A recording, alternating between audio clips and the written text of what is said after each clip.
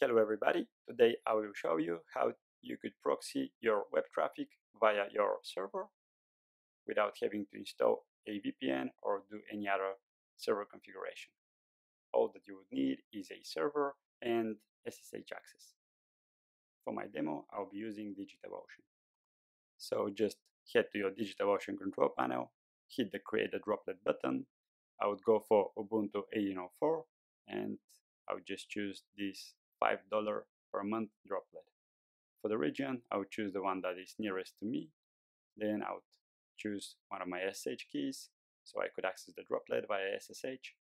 Then I would choose host name. I'll just put proxy in here and then hit the create button. Then under a minute, this would be done. I'll just speed up the video. Okay, we are ready. I will just copy that IP and actually let me quickly go to Firefox and show you my current public IP. So this is my public IP address. What I want to see here is when I visit this site, I want to see the IP address of my droplet. That way I would know that my web traffic is actually proxied through my server. Then I will go to my terminal to test if my SSH connection is working. I will just type SSH root at my IP address. Just type my key passphrase. Okay, this seems to be working. So now what I need to do is run the following command again, ssh root at my IP address, but add a few extra arguments. This would be a dash, then a capital N and a capital D, followed by a port that I would like to be using. I'll just put 1080 as I like the way it sounds. I would quickly type my password and I would leave this connection open.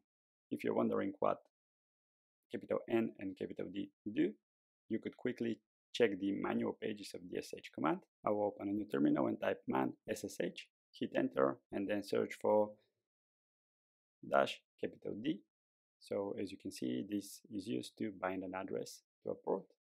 You could read the whole specification here. And if I search for dash N, this is used to not execute a remote command and it's useful for port forwarding, which is exactly what we are doing. We are forwarding the traffic from our local host on port 1080 to the remote server via SSH on port 2020. So now, if I go back to my Firefox, then open the preferences, and here search for proxy,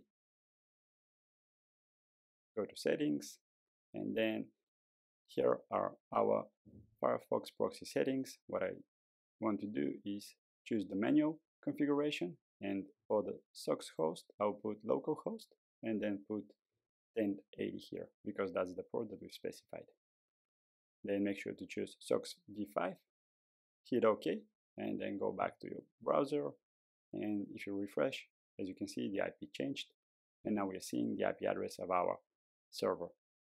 So this means now if we go to the website, let's go to devdojo.com as you can see, we are just browsing the site as normal, but in the background, our traffic is actually going through our web server.